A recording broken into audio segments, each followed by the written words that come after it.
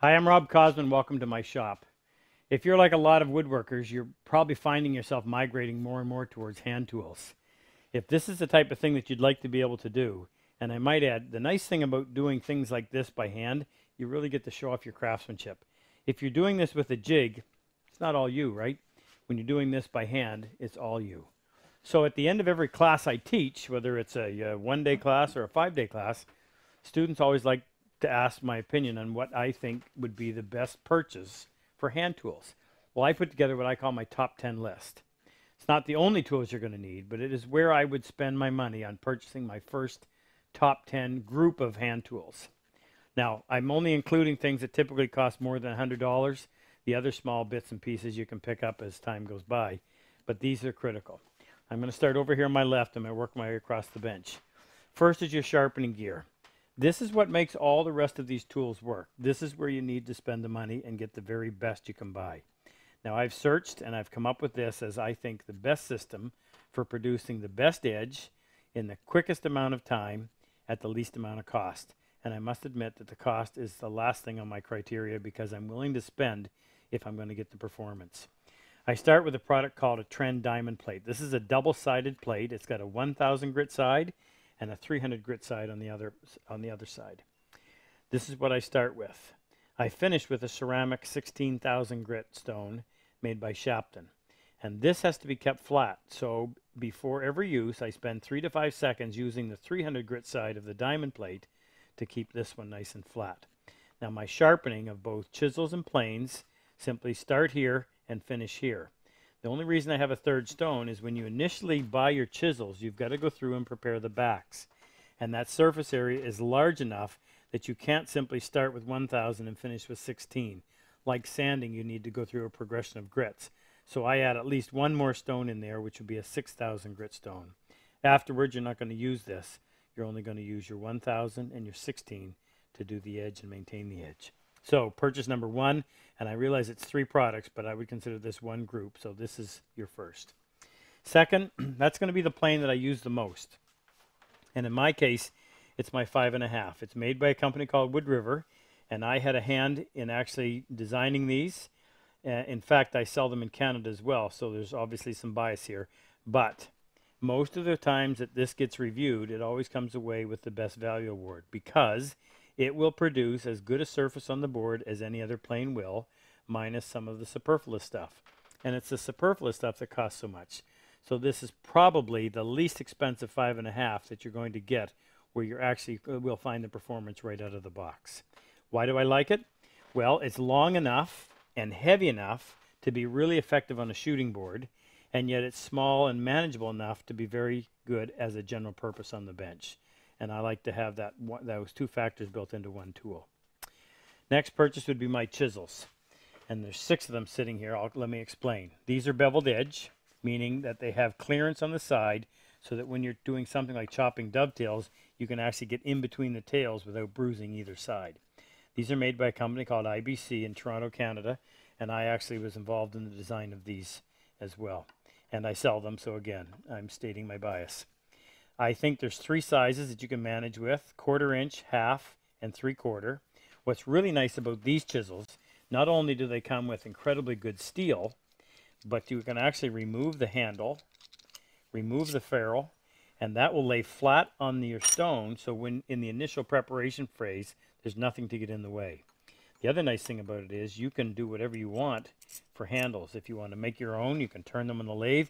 You can make them out of pine and have really light handles, or you can use any hardwood, no matter how fancy it is. You don't ever actually hit the wood. You're hitting the aluminum cap, which has a connector inside that screws onto the end of the actual chisel itself. Simply take it out, put it in a new handle, and away you go. Give it a good uh, snugging up, and it's all set. So these are my beveled edge chisels. But if you're going to do some handwork, and like again, I said, it's nice to be able to show off your skill, you're going to want to cut those mortises by hand. It's a heck of a lot easier than it looks, and it's a heck of a lot easier than setting up the machines to do it. I would have three, quarter, three eighths, and half. These are Lie-Nielsen's. I think they make currently make the best mortise chisels. They're square in cross section. That means they are as tall as they are wide. That helps when you're chopping it in the wood to prevent it from twisting. If you were to try to do that with a beveled edge chisel where there's very little reference surface on the side, it wants to follow the grain sometimes and it's very difficult to keep it nice and true. Whereas the wide sides help to do that. Next would be my number seven jointer. Now, why a big plane like this? Well, the long sole in the jointer helps you when it comes to flattening a surface or straightening an edge. That long sole will ref reference off of the high spots and help you bring it down to one level. Still requires skill by the user, but less skill required using a long plane than a shorter plane to do that kind of a job. This too is a Wood River, great value for the money. You can spend a whole lot more, but you're really not going to improve the performance. Next is going to be a shoulder plane. Now this is a must-have because it will do something that none of the other planes will do. If you look at any bench plane, the blade does not go to either side. It stops short. If you're going to do something like adjust the shoulder on a tenon, you have to be able to work right into the vertical surface, and that's allowed with a shoulder plane. This is a three-quarter. It'll cover almost any any um, task you're going to have in building house furniture, whether you're working with three-quarter stock, where your shoulder would end up being a quarter of an inch wide, or inch and a half stock, where your shoulder is going to be a half an inch wide. You still have all of that covered in three-quarter capacity. I also like this. When they designed this, they patterned it after an old Preston. And the lever cap is actually hollowed out on the underside, which allows you to put your fingers underneath there and squeezing it like this, you have lots of control.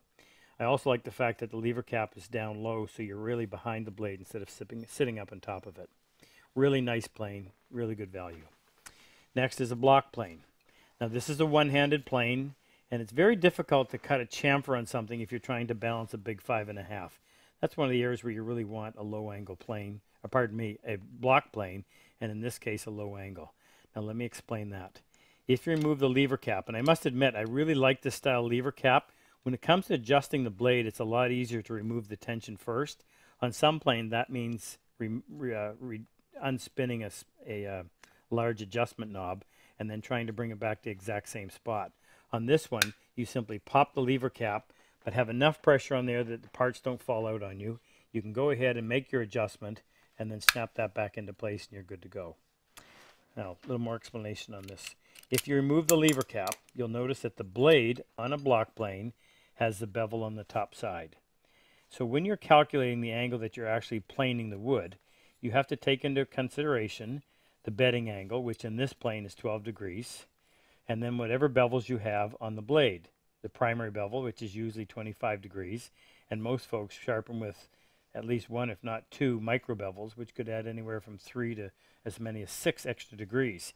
So that plane is actually meeting the wood at 12 plus 25 plus 6. You're planing at 43 degrees. A standard angle plane, you start at 20 degrees, so you're up an additional 8, which means now you're planing at 51 degrees, which is quite high. What I really like about the low angle approach is if you want a higher angle, you can simply buy a second blade and put steeper bevels on it. But if you notice, when this is in place and you put the lever cap in, the distance from the top of the lever cap to where you would hold your thumb and finger in these little recesses is much lower. So it nestles in your palm much nicer than having it sitting up here, that extra 8 degrees. I really prefer the low angle. This is the one I recommend.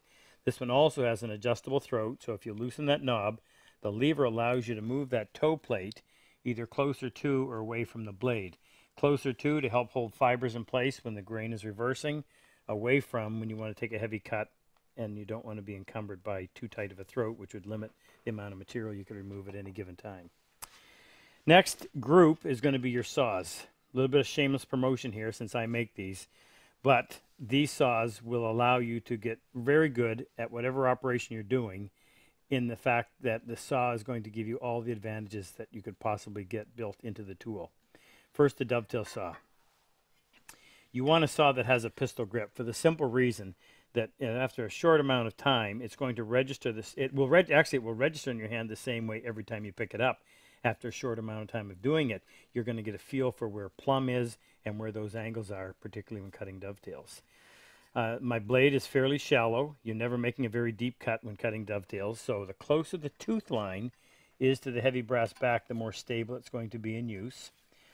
Starting the cut is the most important aspect, and I use little wee tiny 22 teeth per inch up at the front, the first two inches, and the cutting face is negative 30 degrees, which means it almost just rides over the wood and does the one function you want, which is to simply start a very light groove exactly where you want the cut to be.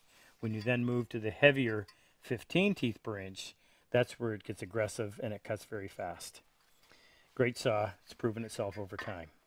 Next saw that I would have would be a crosscut. Now they look very similar except the tooth configuration. This has a rip tooth. This is cross-cutting, designed specifically for going across the grain. Where would you use this? Most notably, would, you would use it when cutting off the cheeks to create the shoulder on the tenon portion of a mortise and tenon joint. And it's that shoulder that you're going to see when the joint is assembled. How it meets the face of the board that has the mortise in it is going to determine the overall look of the joint. Well, my teeth have just two thousandths of an inch set per side, so not only does it cut very straight, but that produces a very flat surface, which is very easy to join to. All the other features are the same. And finally, a tenon saw. When you're making that deep cut on creating the tenon, you need the capacity that is allowed with a larger tooth.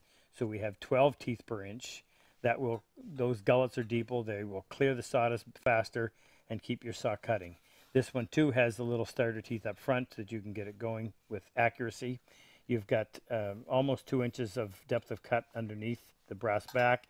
So when you're talking about house furniture that's pretty much going to fill all your needs. Next group of tools are your marking gauges. Actually this is a marking gauge this is a mortising gauge. Now this tool I consider to be second only in importance in doing something like um, cutting a dovetail. The reason is what the marking gauge does becomes part of the finished joint. And you want a marking gauge that will cut through that wood and leave a very precise line that is easy to register your chisel in and gives you a nice clean mating surface when the second part of the joint comes up against that. So my cutters are very sharp. I have a flat spot to prevent that from rolling off on the bench and I have a large locking knob that makes it nice and secure. Now in addition to your marking gauge, you need a mortising gauge. This is the tool that you use to transfer the size of the mortise chisel to the port to the part that you're going to cut the mortise in and also helps in laying out the actual tenon.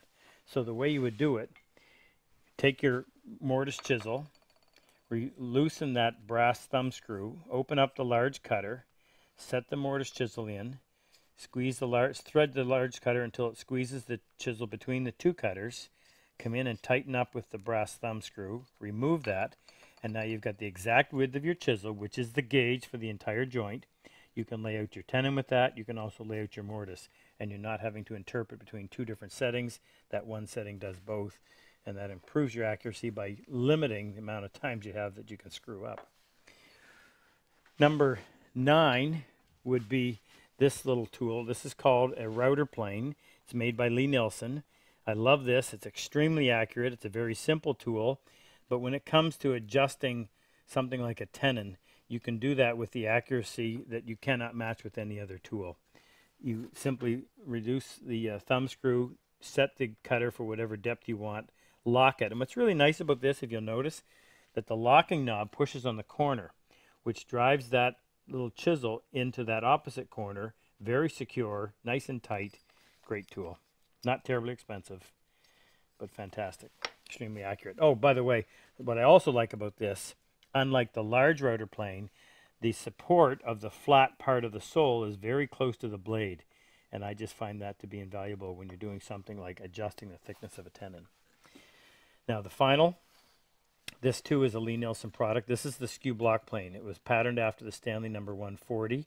It has a removable side plate, which allows the blade to be worked right up to a vertical surface. The blade is at an angle, hence the term the skew. It has an adjustable fence, so you loosen the locking knob, move your fence wherever you need it. When you lock that in, when you're cutting a rabbet along the edge of a board, the skew blade, skew of the blade actually pulls the tool this way keeping the fence nice and tight makes for a very precise cut. I use this when cutting dovetails and I wouldn't want to be without it. Great tool. These are my top 10. Like I said in the beginning, if you're planning to combine hand tools with power tools, by using tools like this, you get to show off those parts of your furniture that are highly visible, like a dovetail joint. I, uh, I realize that there's a lot of other tools that you're going to need. There's marking tools, there's mallets. You can pick those up along the way. This is where you're going to spend the majority of your money. This is where you're going to get the biggest payback for the dollars that are spent. I hope this helps, good luck with your woodwork.